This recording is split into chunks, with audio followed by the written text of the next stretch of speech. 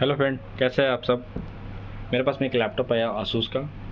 इसमें प्रॉब्लम ये है कि स्क्रीन में कुछ नहीं आता है। लैपटॉप लैपटॉप ऑन होता है, लेकिन पिक्चर शो नहीं करता है डिस्प्ले पे ओके तो हम चेक करते हैं इसमें क्या करना है आपको और क्या नहीं करना है। तो हम सबसे पहले आपको प्रॉब्लम दिखला देते हैं। देखिए, हम चार्जर को लगाए यहाँ पर ठीक है? मशीन से कनेक्ट किए हैं और पावर को ऑन किए हैं, ठीक है? पावर को ऑन करने में देखिए ये ग्रीन लेडी ब्लिंक स्टेबल है। और यहाँ पे देखिए एम्पियर लोड ले रहा है ओके बट डिस्प्ले में कुछ शो नहीं कर रहा है, ठीक है? बोर्ड ऑन है। तो ज़्यादातर लोग क्या सोचते हैं ना इसमें प्रॉब्लम कि आपका क्या बोलते हैं स्क्रीन ख़राब हो गया ओके तो ऐसा कुछ नहीं है। स्क्रीन ख़राब नहीं होता है। छोटा सा फॉल्ट होता है रैम का।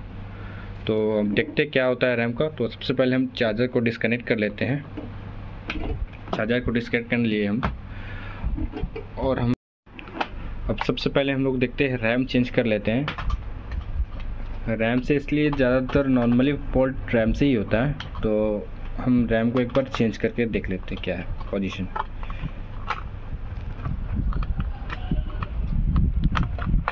ये रैम देखिए, ये लगा हुआ था रैम आपका ओवर हीट कर रहा है, ठीक है। हम ये मेरा दूसरा रैम है, हम इसे लगाते हैं। लगाते हैं और इसको फिर से लैपटॉप को ऑन करके देखते हैं क्या मेरा प्रॉब्लम सॉल्व हुआ या नहीं।